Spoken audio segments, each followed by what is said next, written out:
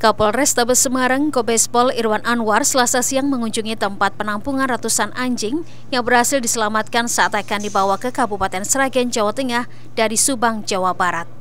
Di tempat penampungan itu, Kapolres Tabes Semarang menekankan akan melakukan proses penerapan hukum pada lima orang yang secara ilegal membawa ratusan anjing untuk dijagal dan dagingnya dijual belikan di daerah Solo Raya.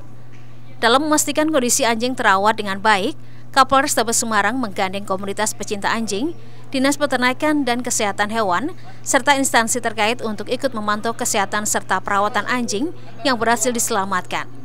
Dan untuk proses hukum pada lima tersangka yang sudah dilakukan penahanan di Polres Tabes Semarang, penyidik Polres Tabes Semarang masih melakukan upaya pemeriksaan serta pengecekan surat rekomendasi serta surat jalan yang dikeluarkan dari daerah Subang, Jawa Barat. Kita menangani dua fokus persoalan. Yang pertama, penegakan hukumnya, kemudian yang kedua penanganan eh, anjing-anjing uh, yang ada sekarang ini.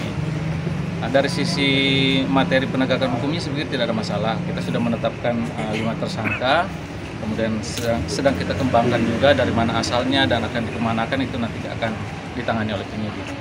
Kemudian yang persoalan yang kedua ini, yang tentu sama-sama kita harus laksanakan bersama, ya ini bagaimana penanganan uh, dua ratusan anjing yang masih tersisa ini. Kita akan melaksanakan diskusi di Polrestabes dengan melibatkan BKSDA dari Dinas Pertanian, kemudian dari uh, pecinta-pecinta hewan di Kota Semarang ini, termasuk Mas Christian kita undang bagaimana penanganan uh, anjing-anjing ini agar mendapatkan layanan yang lebih baik.